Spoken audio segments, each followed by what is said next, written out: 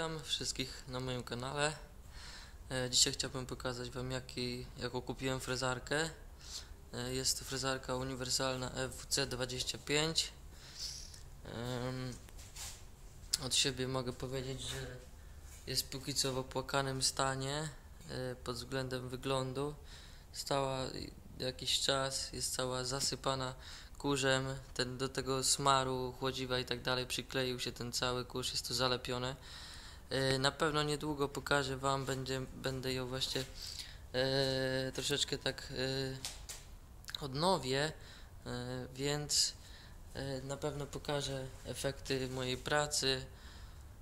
Stan maszyny ogólnie nie jest jakiś tragiczny pod względem samej pracy, ponieważ praca maszyny jest dość cicha. Głowica jest w, skrętna w dwóch osiach, także tutaj e, nie mam co do pracy jakichś tam większych zarzutów. Łoże też nie jest e, łoże nie jest jakieś tam bardzo wytarte. E, Stół też ładnie chodzi. Jest czuć różnicę delikatną pomiędzy właśnie pośrodku stołu, mm, ale nie jest to jakaś tam straszna różnica, także Tutaj mogę powiedzieć na ten temat, że maszyna pod tym względem jest całkiem w niezłym stanie. E, Jak za takie pieniądze, to mogę powiedzieć, że naprawdę jest bardzo w porządku. E, Kwestia tylko właśnie tutaj wyglądu. Ona nie pracowała dużo, e, nie pracowała też jakoś tam szczególnie pod jakimiś wielkimi obciążeniami.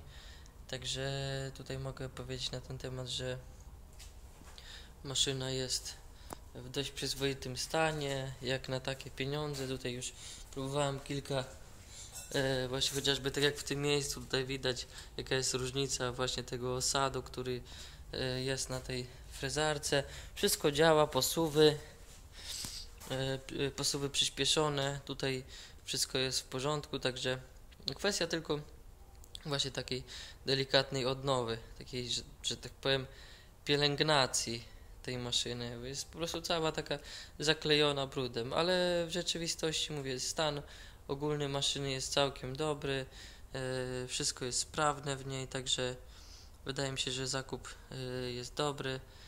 Za naprawdę dość małe pieniądze w porównaniu do cen, które tam są na mm, internecie.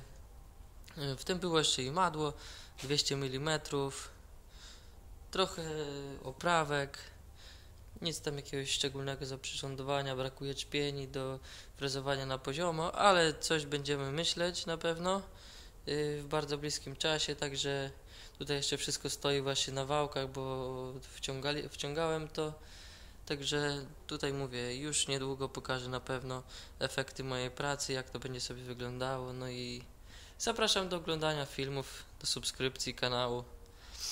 No i zobaczymy, co to dalej z tej maszyny będzie. Na razie jest ok.